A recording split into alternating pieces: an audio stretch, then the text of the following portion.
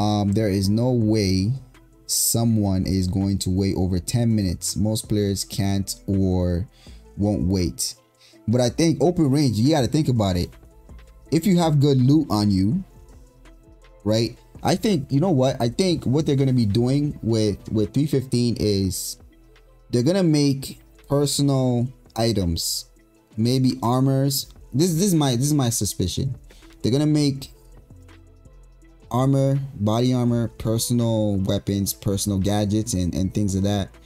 Probably a lot more valuable than what they are right now, and they're gonna be a lot more meaningful, right? So they're gonna make items that you find meaningful.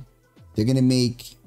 I feel like that's what they're gonna do, and when um, they do that, players will be more inclined to not respawn immediately like we used to.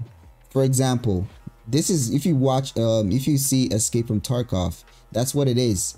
Like your gear, your weapons, your ammo, everything has value. Like if you lose it, you're losing you're losing it. You know what I mean? And it's expensive to get it back. So if they I'm not expecting them to do it fully like Escape from Tarkov, but if it, they can make it more of a moderate type of I think Escape from Tarkov is more like an extreme case. If they make it more moderate where the items that you have have value and you don't want to lose your items, I think they can really deliver on um, encouraging players to want to be rescued and to survive and, and to make it through, right? So imagine a scenario you're downed and you have some really cool, interesting stuff.